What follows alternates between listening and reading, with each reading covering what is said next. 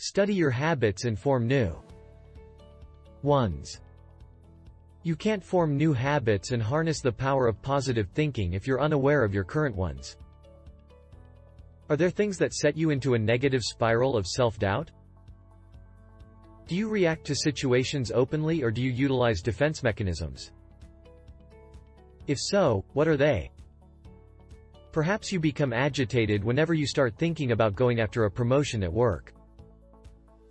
Your thoughts take you to a dark place and positive thinking goes out the window. You calculate how long you've been with the company and start thinking about why you haven't been promoted already. Do your bosses know something you don't?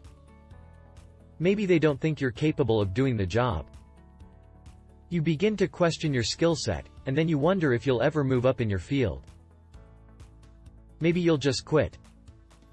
Think of all the time you're wasting by falling back on this negative habit. Self-doubt is almost always rooted in fear, often the fear of failure.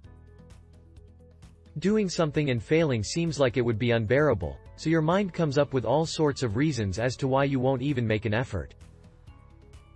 If you give in to these negative thoughts, you might not fail but you will stagnate, which is worse. As Tony says, if you're not growing, you're dying. If you fail, at least you can learn something. If you stagnate, you won't.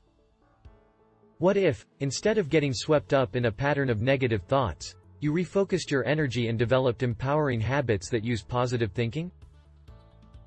Stop the spiral of doubt by blocking it with positive thoughts. If you're able to cut off a negative thought pattern before it gets out of hand, you can shift to recalling positive affirmations instead. By training your mind to block negative thoughts with positive thinking, you're steadily training yourself to stop thinking in a negative way. Fear won't rule you anymore. That's the power of positive thinking.